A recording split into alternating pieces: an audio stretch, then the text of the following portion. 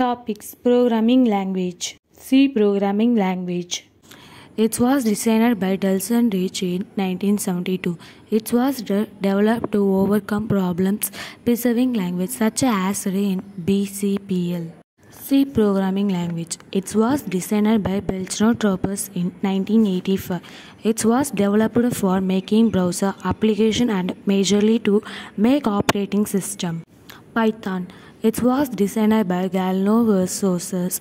Python is used for developing website and data analysis, visual software task automation. Java. It was designed by James Gosling in 1995.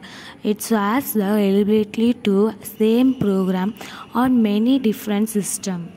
SQL. It's designed by Donald D. Chamberlin. It's enabled to the performance many function at highly efficiently and speed.